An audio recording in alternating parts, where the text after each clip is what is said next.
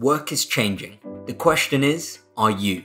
Welcome to 99 Problems But Work Ain't One, the new podcast series from HowNow that will help you prepare for the fast changing world of work.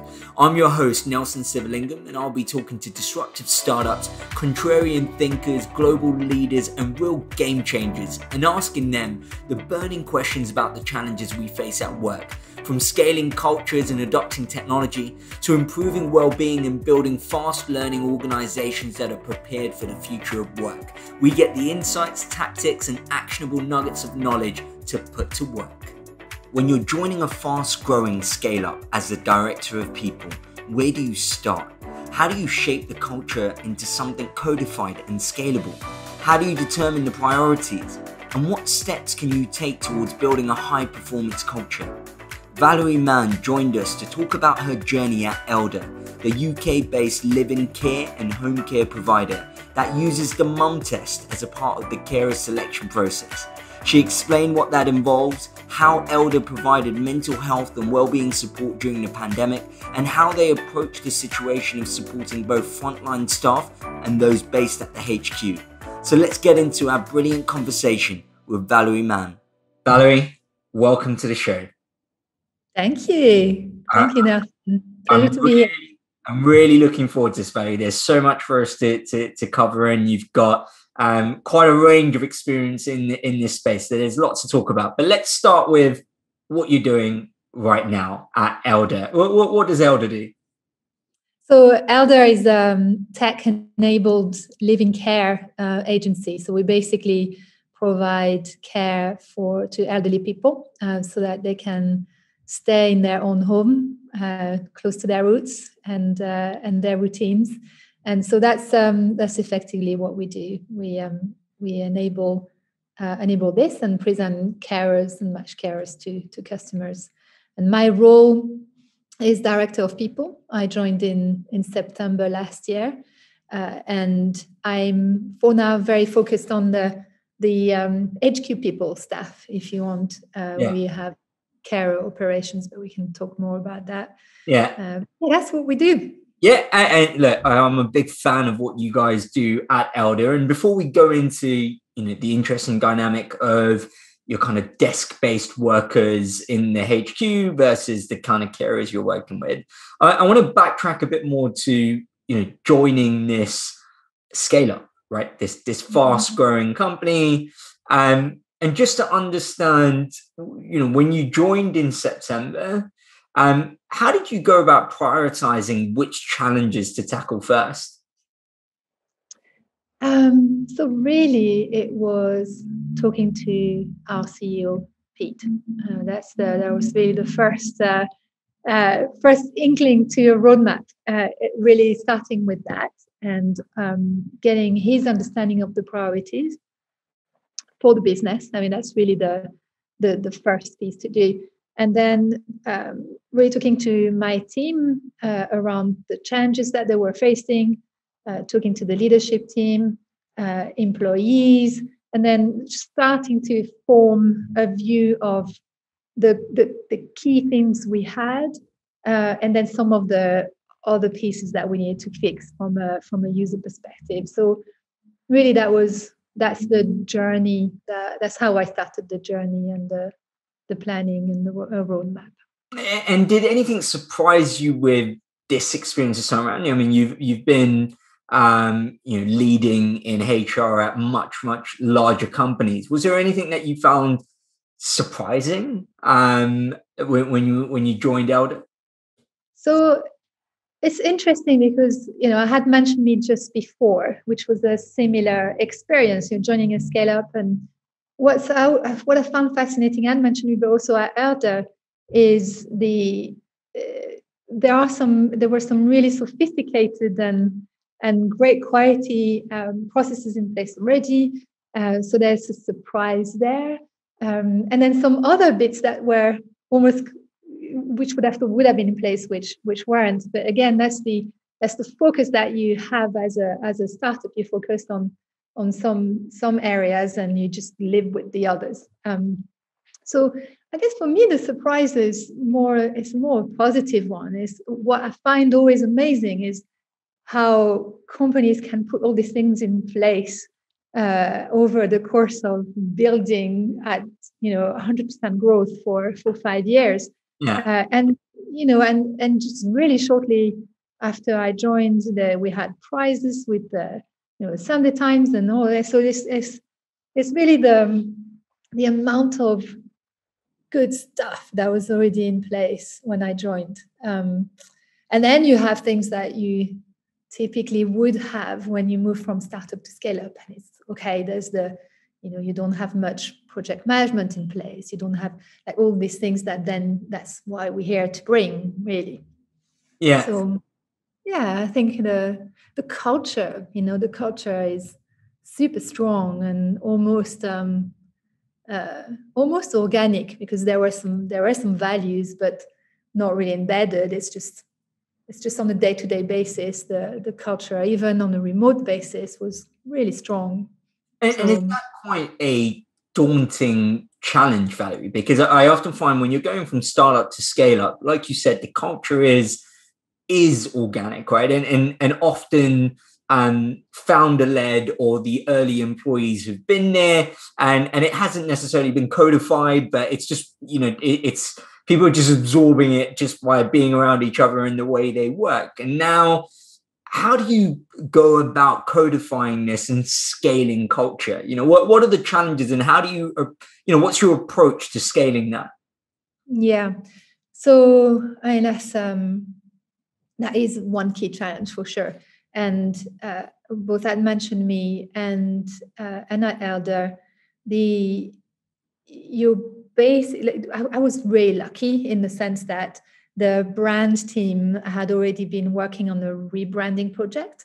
So with that came work on uh, on the values, on reworking those those values. So really, a few months after I joined, we had a, four four sentences, like four four values, yeah, more formed, uh, and so then what follows is well, okay, what does that mean truly? Like how do we tie everything together to those words?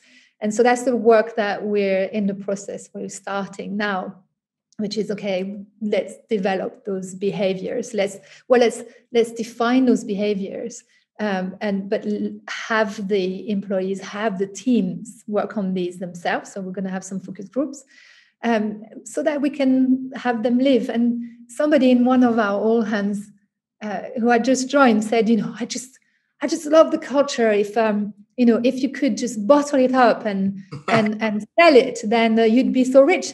Oh, yeah, was great, but what is it? Like, what what actually do we we need to yeah. know? Um, and so so that's what we're starting now. And then once we have that, we'll then embed it in. You know, it'll be very much at the forefront people will understand what that what that actually truly means what they expect to see not in just internally but people outside of the organization um, will look at in their interactions and, and say okay this is this is what elder is about and this is what the culture is about. So that's what and that's really codifying that at a, at a in, a, in an even more challenging time for elder because it's a we have an evolution in parallel that's going on which is really moving from an introduction agency um, to a managed service. And so that's another topic altogether in itself. Yeah yeah. So just generally as a business it's it's that growth and that and that that evolution of that culture. But then it's also a that that business changing and scaling. And so right. you, you, for me you keep the nugget of what got us there by defining what will take us forward but acknowledging celebrating that history. So that's a piece of work that we need to do too is really to acknowledge and be very purposeful about what got Elder to where it is today and, and all the work and the like the history from yeah. everybody that's put that together um, celebrating that and and then then and, and this is what will get us to where we want to be. Yeah. and and then you have clarity around okay well what does that mean for me? Is this is this the right journey for me or or is it not have i done my time here or and once if you have clarity then you you, you stay or you leave the the ship right? But at yeah. least you know. Yeah. And, and, just to dive into that a bit more Valerie that's super fascinating. And i guess from your previous experiences that journey of going from values to you know things you actually do and and seeing those values manifested in everyone's behaviors is is I mean, it's easier said than done, right? How do you go from? I'm sure there's many companies who've got values printed on their previous walls and now maybe screensavers, but how does how do you actually manifest those values? I think you you really embed it in what you do on a daily basis. So what do you do on a daily basis? You you recruit, right? So um, let's have those behaviors. So it's really truly behaviors that we all align behind that that matter to Elder, that make you successful at Elder, and that makes Elder successful. So let's say you have a, a behavior. Um, you know, a standard one could be um, I constantly, purposefully give honest and transparent feedback. And let's just that as a as an example. Then you literally have that as an example and a question at, at interviewing time, at the recruiting time. Right. Then you know, right, and you test for this. Um, then that person gets on board, and they'll see, okay, thinking about the same example, we have a recognition program, a peer-to-peer recognition program at the moment. We'll have a uh, a, a behavior in there uh, right. related back to this, and they'll, they'll say, "Wow, so and so did fantastic this week." You know, they just gave feedback to you know in these and these forums. I just saw that in motion, and I'm going to recognize this. Uh, and we'll also, you know, have this in the in the performance um, that we have a 360 um, feedback review cycle that we do, and so you'd also have that in there because that's what that's what will make you successful. Now, um, that's really how you how you do it is making part of the day to day and people really noticing um, when somebody when somebody really uses that as a strength and and and over indexes on those. Yeah. The one thing though i would i would uh, always caution against is for this to become a cult right? I think there's a there's always that balance That it is this is about culture this is about us as a community and what we can expect from one another. Uh, it's not about uh, being this uh, this one clone, um, you know, doing everybody doing the, with everybody doing the same thing. So hmm. it's it's that really around that. And you know, going back to the idea of your your fast growing company, things are moving fast and changing fast, uh, and a key part of a company that is is growing that fast is having a high performance culture, right? Um, how do you go about, you know, especially in an organization where you've got new management layers coming in, you might have managers who've never been ha- been managers before. Um, how do you build? I mean, this is a big, old, loaded question for you, Valerie, but how do you build a high performance culture? Well, you have to define what high performance culture looks yeah. like in your organization, right? Because it does, it does vary.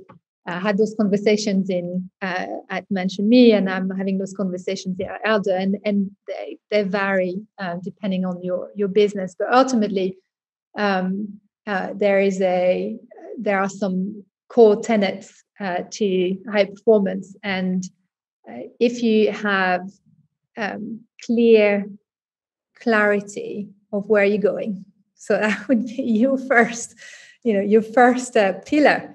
Um, can you have can you have clarity? And that means really having goals fine having a strategy fine. Uh, but then having all that um, uh, cascading down or clarity and transparency around uh, what you're aiming for what does it mean for each uh, individual in that community and um, and where we're tracking uh, and that transparency around that and really having that that link uh, upwards try you know diagonally horizontally. Um, so i would say clarity there is one of them. Um, then it's uh, the collaboration piece. So and this is the interesting part when you move from startup to scale up because once you get to this stage people have been used to working in their function. They've been building their function. That's what they've been tasked especially managers and, and leaders. They move fast as you say. Yeah. and now comes the time where what we're saying is you really need to work across and together. Right. And so what would have been natural at the beginning because there's only 20 of you uh, becomes more and more difficult. You focus on your function but really there comes a stage at which for high performance you need to be aligned and collaborative. Um, and so that's a, that would be for me another another big part of high performance.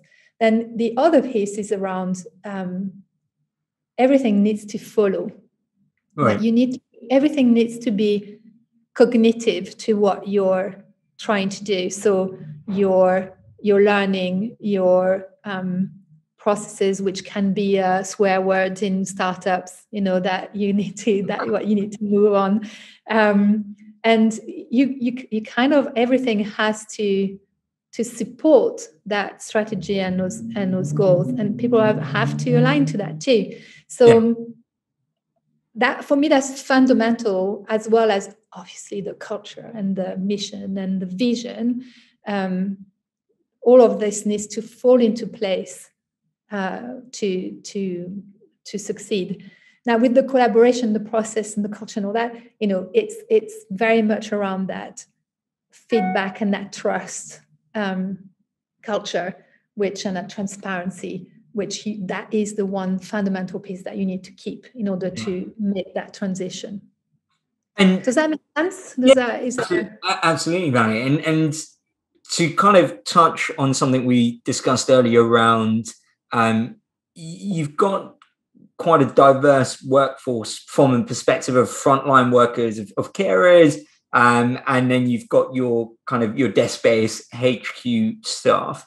And when you're thinking about building culture and and you know all of these kind of processes, it, it involves these two very different groups in terms of how they approach work, what they're doing, and um, what their kind of motivations are, etc. So, uh, how does that affect your kind of thinking and approach? And how, how, does that take into account from everything both from you know the high performance culture scaling culture in general learning etc you know how, how do you approach that?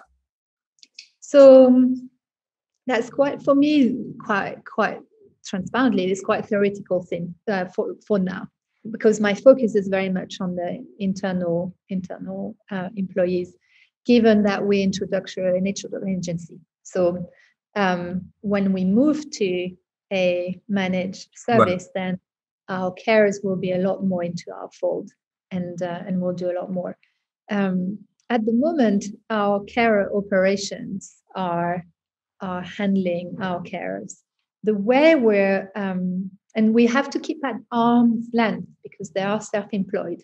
Right. Um, so there's so much that we can do. We're quite limited, but we do we do some some basic stuff there for them um, there are some bridges that exist today around around the cultural piece. So we have the, for instance, the values that we've I've talked to you about that we just defined. We have a a set of um, behaviors that are very care uh, driven and that really apply more to them uh, and to the care delivery for them. So we've we've kind of delineated the values so that they work for for a care, which is exactly what they what they live on day to day. Right. Also, um, in terms of the the, uh, the, the bridges that we have, we have uh, things like uh, care of the month. So we celebrate at our hands, you know, um, these fantastic carers. I mean, they're just amazing, and it, and we we work very hard on at the moment on defining what a, a great carer for elder is. So we the, the, whole group at the moment working on our carer value proposition um, because we, for us success is about our carers. Ultimately, fantastic care and fantastic carers will bring customers. And yeah. that's just the way it is. So we're very going to be very care centric, and we have we, we have organized things that we can organize an, as an introductory agency like carer hangouts where we have our employees you know sit sit twice a week with uh, with carers and trying to bring this community together.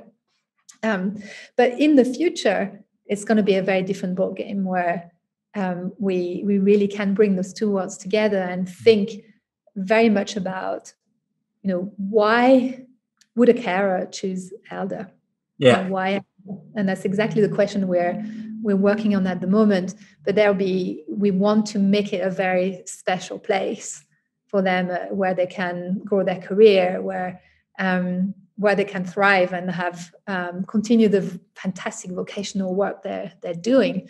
Um, and so so yeah that's that's that's the journey um, but we've got regulated first. I was going to say, Valerie, like there's obviously the compliance piece, and, and this is a highly regulated space, and you know the risks and, and stakes are very high. Um, yeah. So how do you ensure beyond, I guess, there's almost the compliance is is the base case, right? You you, you need to get that done.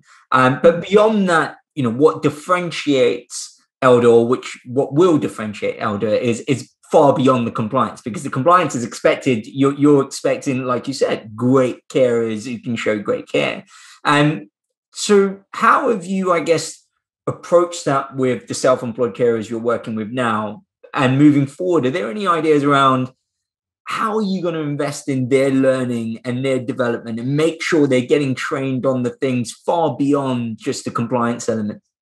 Absolutely. So um, so that's the future, right? And that's what we're working on today. For now, um, we do we, we kind of have to work with the minimum we can do. So we've developed a um, a carer guide uh, that we we give, but that's that's really the strict minimum. And we obviously onboard our carers onto our systems, and you know there we have tech that we use and, and to see our care appraisals and um, but we are really really limited. Um, and that's why we want to move to the regulated side because then as i said we'll this is when you really go into you know their continuous um, personal development. Um, it's um, it's the clinical piece for sure once we again are regulated.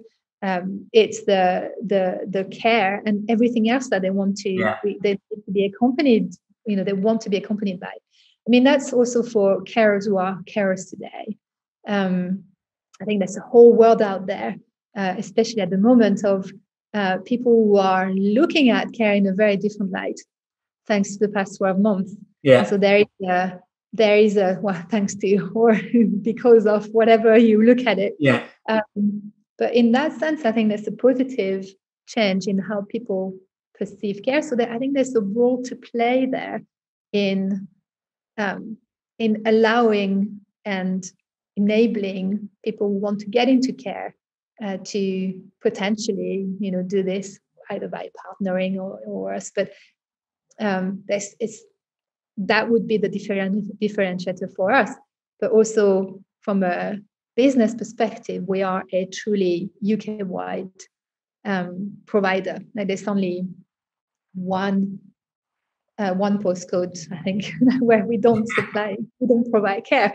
Uh, so you know there's also that opportunity that from a you can really truly go across the whole country um, I, guess alongside the the technical and, and the formal processes um what was really interesting is you also have this thing called the the, the mum test right um yeah.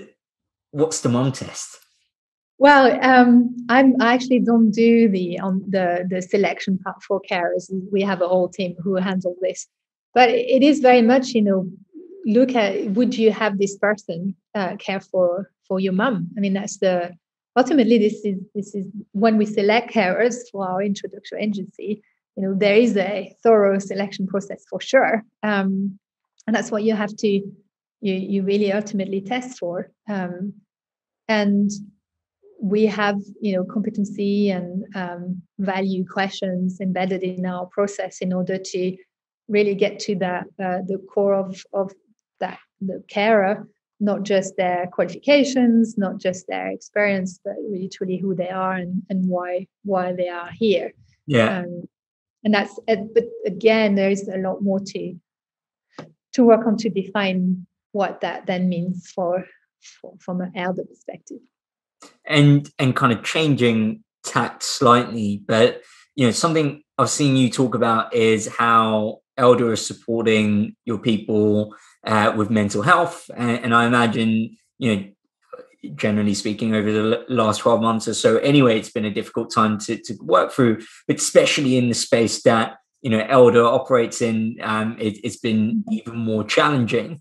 Um, and so how have you approached that and how have you seen the, the kind of organization approach mental well-being? And, and just kind of to add to that there's this question around roi of you know say you're investing in in mental health and, and measuring the ROI of mental how, how do you approach that kind of conversation? Um because you know we, we've had some companies there have been companies who are debating is it their responsibility to take ownership over um you know things that are considered outside of the, the workplace? It would be great to get your thoughts on that.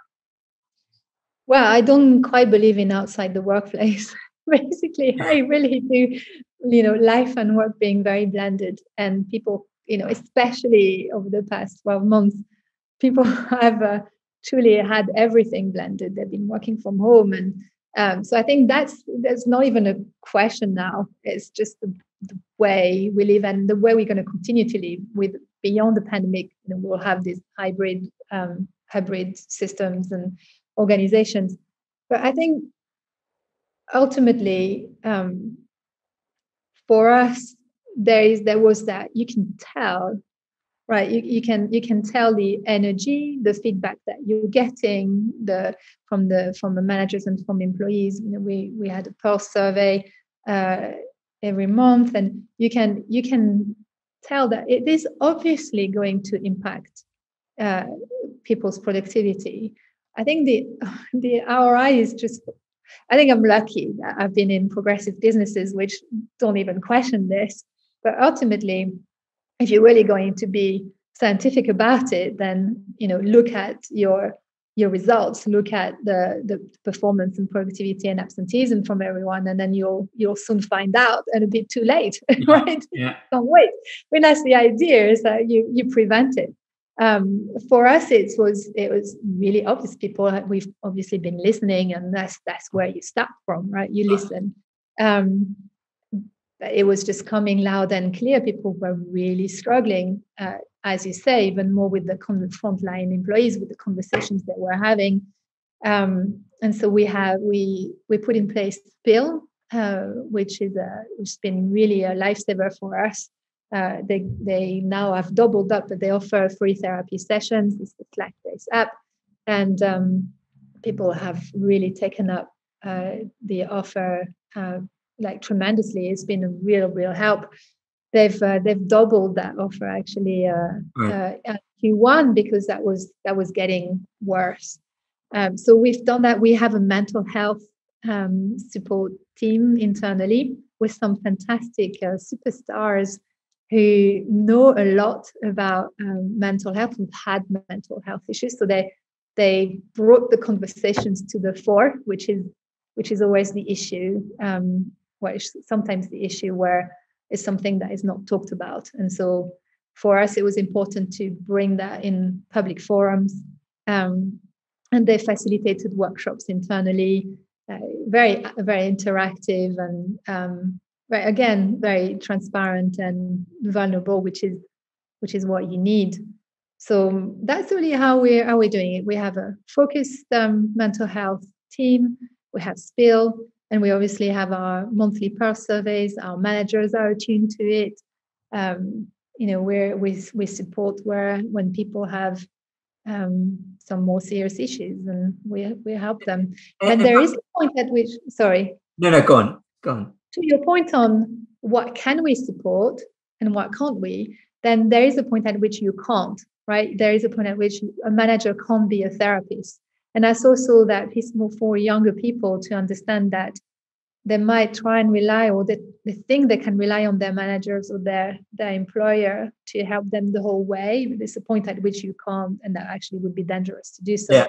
Yeah. That's why that's why hence the therapist and hence, you know, whatever they need beyond that, then yeah. they need to to obviously look after that. And, yeah, it's interesting, Valerie, because like you said, you know, uh, I'm, I'm with you there. That the ROI question is almost redundant. It's so obvious. Uh, it, it, seems redundant. Um, yet, you know, why do you think you, you've been a people leader for, for for many years now?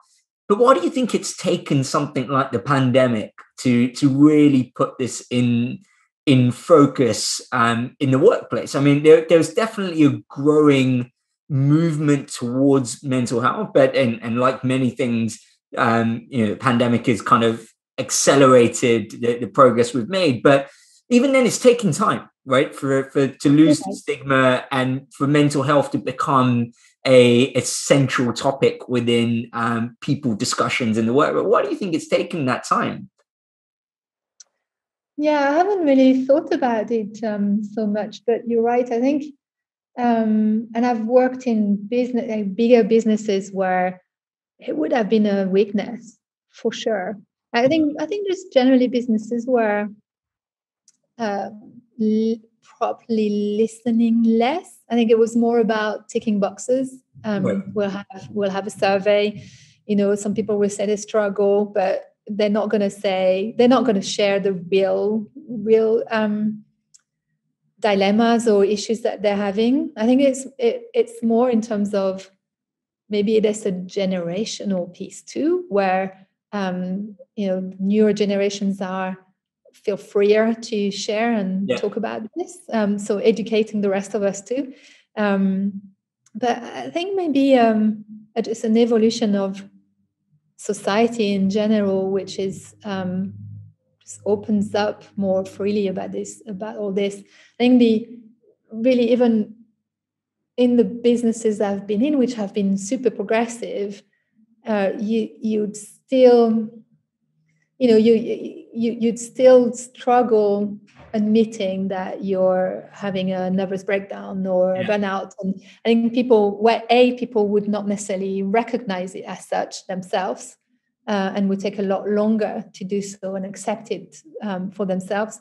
But and b everybody around them from a work perspective would probably just brush over it. Right right. Uh, i think maybe just more of a societal view of mental health issues as being other people's problems and and a weakness yeah. um, potentially. Yeah no i, I see that.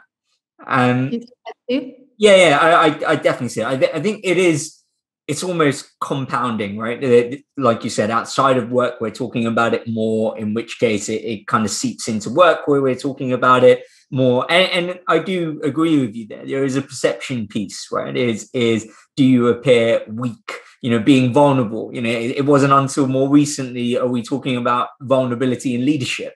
Um, yeah. and and it's okay for you to say uh, you know i don't know or not having a good day. And i think all, all of those things um, and, and i think it largely comes down to the types of leaders we're now starting to see. And, and i think uh, you know some of the examples I talk about often is is like Sundar Pichai at, at Google um, or Satya Nadella at, at, Microsoft. Who these are not your um, you know they're not shouty, loud. You know your your kind of alpha leaders that you you may have seen in in previous decades. And, and I think just seeing different types of leaders who've got different approaches makes you um, more, more, open to the idea of different ways of leading an organization and it's okay to be vulnerable. And so yeah i definitely think there's a perception piece that's changing and it's changing for the good which is which is good. Um one question for you valerie before we go on to my favorite quick fire round. Um you know thinking about the future you know do you have any plans for how you're going to build you know continue to build on this foundation from a future of kind of people development perspective of of of elder? You know what what have you got in your plans? So um for our for our employees at, at, at you know we basically want them to have a fantastic uh, growing journey with us. Like elder is going to grow and it's going to grow fast. And on every account i i want our elders our employees to uh, to grow. So it's and it, and that's really for them to be to to drive that success and be successful with it. So that's all encompassing. So there's a massive investment to to be done there in terms of learning and development. Um, i would bore you to tears if i was going to go through everything that i've got in place but uh, it's it's big on the agenda. Um, and and it uh, evolves around you know what you need to find yourself so like and, and having mentoring and coaching and you know enabling that that person that individual yeah. strength um, but also the you know programs and that will show the scaling right for, for, for, for the ones who have not gone through this so this is this is how you scale best and and then this is how you fit into it to help yeah. us scale at, at, our best so i think there's that that piece of bringing that um, professional scale in there um, and then for for our carers well i've talked to you about that you know there's just the world is our oyster yeah. there and it's mm. everything to put in place but i really want us to to to, to differentiate ourselves as you know a, a, a people um, developer really and that's uh, across the board uh, yeah. from our carers to to our employees uh, and i really want people to come to elder to not just not only for the mission the mission is amazing and and that completely unites us um, it's really to to to change the the, the way we age right? um, but it's it's also come to elder to to to be the your best, right? To be the best you can be, um, and help us succeed in that in that mission. So I know it's wide, but it's it is wide. I, I often find when you have you know a great fast growing company with a great culture. You combine that with a mission that how can you not buy into right? It, it's like a tech for good. There's that element to it. it it is it's a win-win and it's always exciting when i see a company like that. So let's go to our quick fire round. Um, all right. I, i'm going to try throwing questions at you quickly and you can try to answer them quickly but feel free to if you want to dive into them a bit more uh, deeper um, the first one i want to kick off with is if there's one metric you can choose to measure your success in your role, what would that metric be? Um, that's a good one. I would probably say um, well, that depends on the phase. Uh, there is a there is a, definitely a growth phase when you want to have a time to fill for our for your recruit. To be fair, uh, but ultimately, I think uh, our ENPS would be would be really the the metric. Like if if I have a super strong ENPS, then I know I'm we're we're winning on all fronts. Yeah. Right? So, yeah. and that that really encompasses everything. Yeah. Um what do you know now that you wish you knew at the start of your career in HR? Um, the the I guess the one piece that I think would have saved me a lot of sleepless nights uh, would be project management. It's a simple, you know, boring to some, but for me to know how to run a project in my role, as even at the beginning, to know how to do that would have saved me so much time.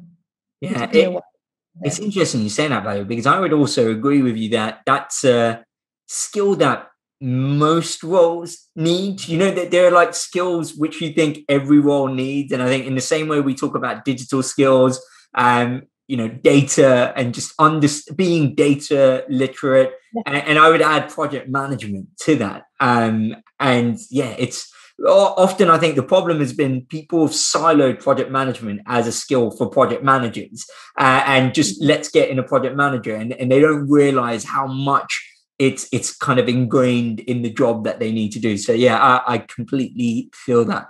Um, I know at Elder you you measure happiness of of your carers, your clients, and uh, how do you guys go about doing that? And, and are there any kind of nuggets of knowledge you can share around how you go about measuring happiness?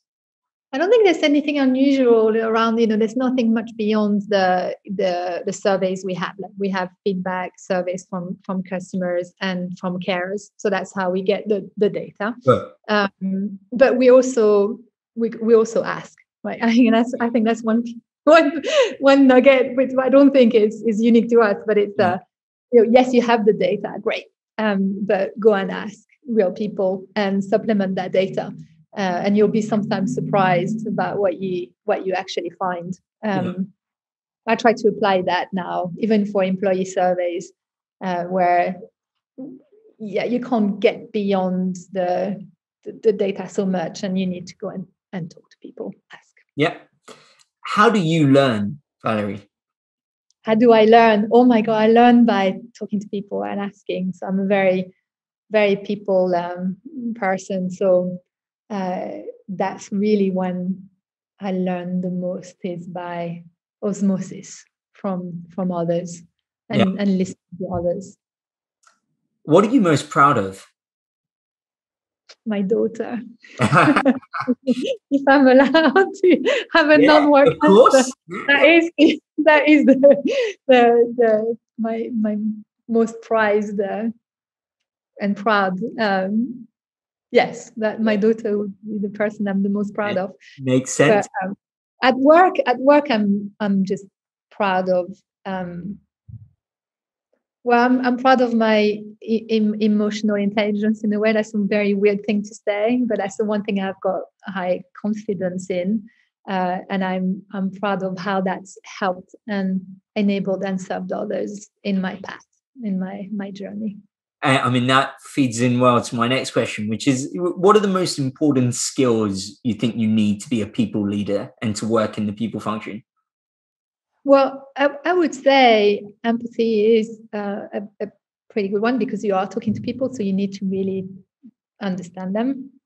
Um, I think to to have the balance of empathy and and being data driven also, um, but ultimately you need to be super close to the business. You need to be strategic and and be eagle-eyed on what the business is trying to achieve and work in a, as part of the exec team uh, that's that's fundamental. So it's as business acumen empathy um, data um, driven. And you need to have lots of energy. And i'm not sure that's a skill but that's uh, that comes into it all. Uh, yeah. Like adaptable just to build on that, Valerie, if there is someone listening to this show today who's working in an organization where they feel like um, HR or the people function doesn't necessarily have a seat at the table, um, and and they would like to change that, what's the one thing you think they can do more immediately to to change that? So that again, depending on the CEO and the exec team, um, is have have confidence in what you know uh, and use data to supplement it. Uh, and so, really, one thing that I learned uh, from from from one of my managers or my mentors and since is you can have as many opinions as you want and you can you can you know say as much as you want ultimately data will cut through uh, a lot of these um, these conversations and these opinions, and because people have opinions about people all the time, yeah. all the time, and so it's how you then turn that into well. Here's the data, and here's how that supports our business. Not only supports our business, drives our business. This yeah. is how this business is going to be successful. And so I think it's really just always looking help I think generally speaking, people I've encountered in, in this position is in, in HR have an amazing vantage point, right? You're in the middle of the organization, you know so much, yeah. and you're across functions. I mean, the perspective we have in this function is amazing. We know so much. You know, you're a CEO, you're in the middle of it too, right? But people are the same. You you see it across the whole organization. So use that to yeah. to to to with data uh, to put your case forward and um, and use in you talked earlier on about the instinct and uh, that also applies too is that you can see you can see clearly because uh, the rain has gone or because you're sit somewhat you have a different perspective you can step back a bit more easily Yeah, really like that. Um, you volunteered in the COVID nineteen volunteer testing network last year. Did you learn anything or pick up any skills that you thought were kind of transferable with what you're doing at work? Did I? Well, it was so direct. Actually, it was. It was. I. I, I was really worried. Uh, to be completely transparent, I uh, joined this uh, this organization. I was, how can I help them? You know, what do I know? And uh, um, and it was all remote and. Um, and and, and where all they needed is to to be to have a, a, simple HR setup. They were building a team very fast, and then they needed some. And so I contacted Charlie HR, who I knew, and uh, and so they were like, "Yeah, of course, we'll help you for free." And with I set up Charlie, I, I helped them with processes and and things like that. So everything that I had done, whether it was HR or not, uh, I used, and I, and I was able to do it really fast and where they didn't have time to do it. They were busy building this stuff. So um, so that's what i really enjoyed is i was able to apply it straight away. And um, what i learned or what it confirmed in a way for me was uh, how amazing you know this whole thing about uh, you have an idea you have somebody uh, who has money and wants to uh, you know wants to help and then you build a whole team around this so fast.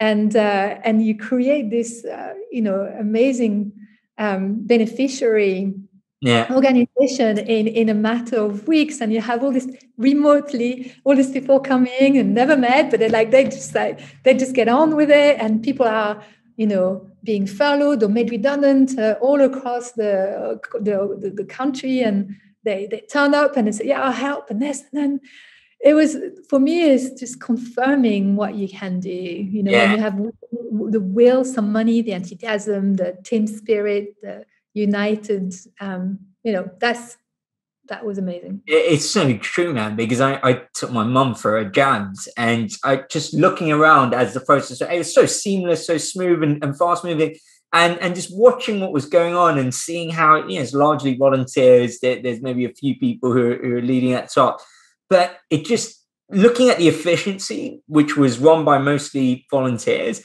it just reminds you the power of purpose right? Like that, that having that single-minded focus of you, you know why you're here uh, you know what you're doing and you know what the the benefit of of getting this right is and that's really what's making all these people do what they're doing right uh, otherwise yeah. they don't have to go out of their way to to volunteer and, and make this happen and yeah it's just incredible to see you know you can when you think about running a private organization where you've got all this money you've got all of these different things you're trying to do and incentivize people financially etc all of that but actually when you get the core right how far that takes you is is what i realized just sitting there watching this process happen. But yeah it's amazing just hearing what what you did and what you achieved. Amazing. And why? last yeah. Last one. And you learn. Oh, you know huh? you learn. Like, like just yeah. thinking about it from a technical skill i learned a lot. Like i actually learned about the cqc you know and oh. then i found elder right? So it's just like oh yeah, I can take that on. Yeah, perfect. But this is completely unintended, but you actually learn a lot. Yeah, sorry. No, amazing. Uh, my last one for you, Valerie, is what's the the best bit of advice someone's ever given you? Uh, well, that's the one I mentioned earlier on. Actually, is the is the the is the data. Like, it was it was very pertinent in the role that I had at HomeAway. Uh, I was um, I was the head of HR for Europe, and I found myself um, a bit of a as an advocate for for for Europe to, to the to, with the US, or and sometimes in the middle, and you know, and um, and you find yourself a lot like you know as a in in in people in HR, um, in in in in positions of uh, you know middle management or. Um, and I think for me, it was my my manager really that was her mantra. Yes so you're telling me or you're telling us x and yes you're convinced about this and great you know we trust you and all that but i'm going to need a bit more than that to convince the board or yeah. you know the c team or and so what do you have to offer? And it took me so long. I'm not data driven person but i built it right? This is something i learned. Yeah. Um, and uh, and so so yes it's slowly and surely just just just really get round to this and the data will cut through the conversation. Yeah no, I, I love that and that's a great note to, to end on. Valerie it's been an absolute pleasure. Thank you once again for coming on the show and sharing everything you've learned. It's been amazing. Thank you very much. No thank you. Fantastic. Thank you. And that brings us to the end of this week's episode if you want to connect with Valerie or learn a bit more about Elder, all the links are in the episode description. That's also where you'll find the show notes, everything you need to connect with me, and links to all of our podcast content. If you enjoyed this episode, please do think about subscribing, sharing, leaving us a review, or telling a friend. It goes a long way in helping the show grow. Thanks, and see you next time.